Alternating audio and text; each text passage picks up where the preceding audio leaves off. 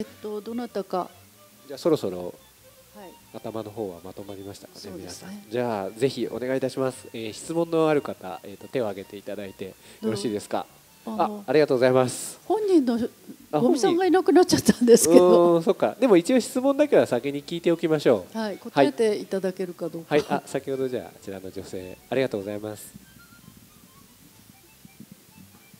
えっと質問なんですけれども、ゴミ太郎さんの絵を見ていると、はい。あの普通の一般の私のようなものが見ている視界よりなんか違う世界を見てるんじゃないかなって思う時があるんですけれども実際あの私生活でどんなことを想像しながら生活されているのかちょっと気になるのでぜひお伺いしたいなって思います。なるほど、ちょっとじゃあゴミさんがいないので我々であの若槻さんとか20年来の付き合いですからゴミさんどうですかね？あの何想像してそうかとかって若槻さんが思うゴミさん。そのゴミさんの絵じゃないみたいっていうことですか？今日の世界が？あそうではなあのーゴミさん。普段どんなせどんなことを想像しながら生活してらっしゃるのかなっていうああ、それはゴミ太郎の頭の中をは覗いてみたいという気がしますね。うん、でもよく言われるけど、あのなんかこう呼吸するように息するみたいにして、あほら帰ってきた。なので。絵を描くことは俺の日常だよっていつも言ってますね。どうですか？日常ななななん質問聞いてらっしゃいました。いや今トイレ行ってたんです。ああなるほど、うんあのーゴミさんの絵を見るとはい。この人は普段何を考え何を想像していや生きてる本当に考えてないですよね全然。いや本当に考えてない。あの絵描く時は申し訳ないけど 誰に謝ってんだろう。本当に考えてないですよね。麻雀とテニスは考えてるの本当に考えてる最近ゴルフもやってるんで始めたんですんごい考えてる。こうやったらこうなるかこうなったらこうやってこうやったらこうなってどうすればどうなる。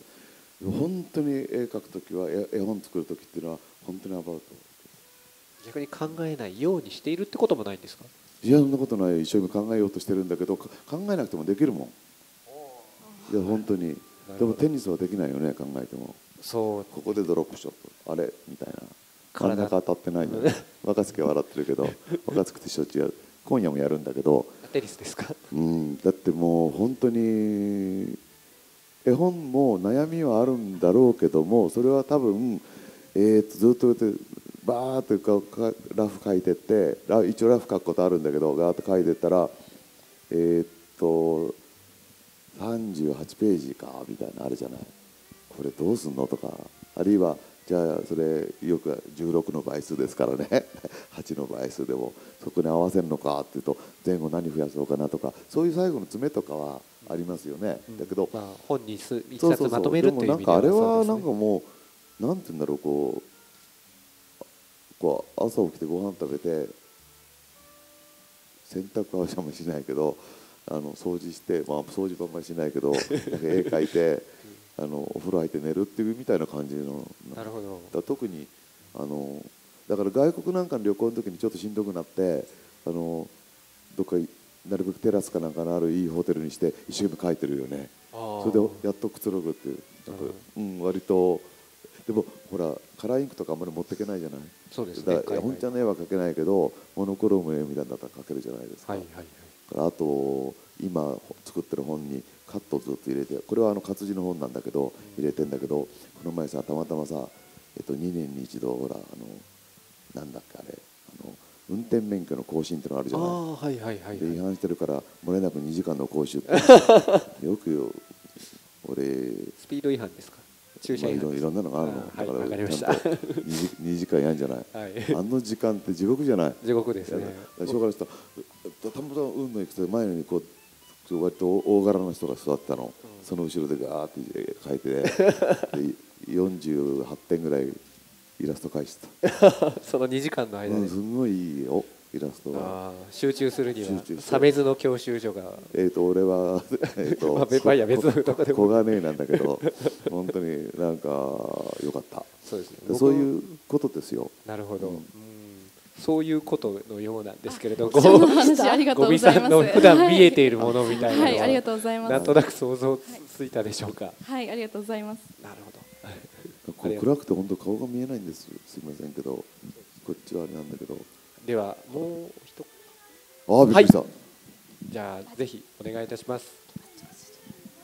ああの今マイクの方が行きますので少々お待ちいただいてよろしいですか？あのマイクの方すいません小走りで。ありがとうございます。あの私が高校の頃はあの新聞にアメリカの子供に折り紙を教えるとなんかこうやれば早く折れるとか重ねて折ればあのたくさん量産できるとかそんなことを言ったっていう新聞で読んだことがあるんですがさっきメキシコの子供はあの色の使い方をあのよく知っているっていうことをおっしゃっていてそれを広く深くどうだったっていうことなどを教えていただきたいなと思ったんです。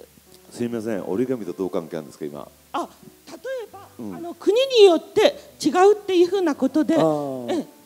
折り話しました。紙をまとめて折っとくと早く折れるって新鮮だな。あ まとめてってでもあれれ二重になったら2個にならなくないですか？鶴とかなんないだろうそれ。はあだからまあ隣にこうあれして流れ作業？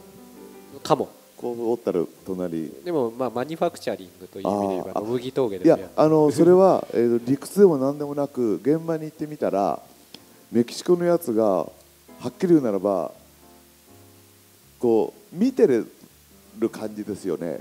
どんどこどんどこどんどこ使っていきながらかなりおしゃれっていうのが現場でできたとあ例えばそれスリランカと比べてどっちがいい悪いじゃ全然ないんだけど日本でも面白い現象いっぱい起こって風土性がいろいろあって、でやっぱりそのどういう関係があるかよく分かんないしあるいはその場所だけだからメキシコ全土を調査したわけでもないし日本全土やってるわけじゃないんだけどなんかそのいいろいろその似てるようだけどちょっとずつ差があるわけですよ。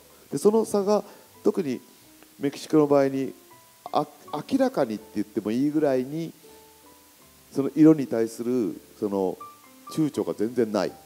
例えば強い色も弱い色も。だから割と強い色がどんどん使えていく。で考えてみたらその街に出てお土産屋さん行ってもそんな絵がいっぱいあるしうん。あのそれからか彼彼ら骸骨好きじゃない？骸骨大好き。だけどさあのカラフルの中に真っ白い骸骨描くと本当に綺麗なんだな。うん。でこういうセンスみたいなものっていうのはどうもやっぱり土なんか長年培われたようなものがあるんじゃなかろうかという程度のお話でした。なるほど。そうですか。はい、あのそれとご自分の世代をどのように思われていらっしゃいます？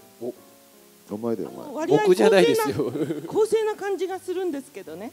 光線公正なものの見方を昭和20年前後の人はするあと思っています、のーややねあのーマジになっちゃうとやっぱりですねえっ、と1945年のね8月15日終戦の時に本当は生まれる予定だったんだって僕は。